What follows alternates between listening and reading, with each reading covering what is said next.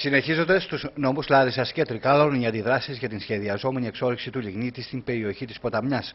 Μετά την τελευταία αντίδραση του Νομαρχιακού Συμβουλίου Λάρισας, καθώς επίσης και πολλών δήμων των νομών Λάρισας και Τρικάλων, μια νέα εκδήλωση διαμαρτυρίας προγραμματίζεται για τις 22 Οκτωβρίου στη Φαρκαδόνα και συγκεκριμένα στο Δημοτικό Διαμέρισμα Διασέλου. Υπάρχει ένα πρόβλημα να καταλήξει η περιοχή μας να είναι μια πτωλημαΐδα της Θεσσαλίας.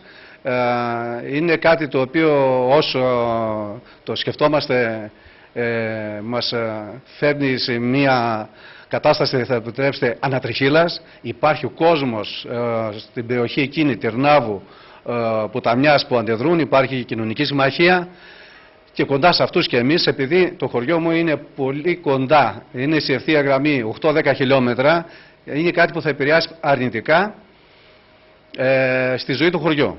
Φανταστείτε, εάν γίνει κάτι τέτοιο, εάν γίνει η πτωλημαΐδα ε, της Θεσσαλίας, η περιοχή Ποταμιάς, καταστραφήκαμε.